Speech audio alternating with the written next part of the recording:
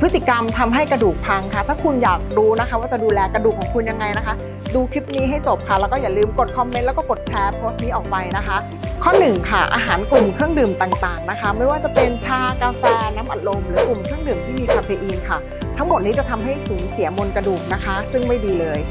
ข้อ 2 ค่ะการที่เราหิ้วของแค่ปลายนิ้วมือ หรือว่าการสะพายกระเป๋าเพียงข้างเดียว อันนี้ก็ไม่ดีต่อโครงสร้างของโครงกระดูกเช่นกันค่ะ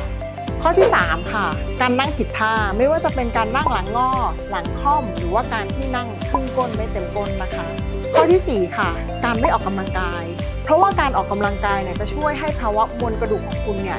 แน่นขึ้นแข็งแรงขึ้น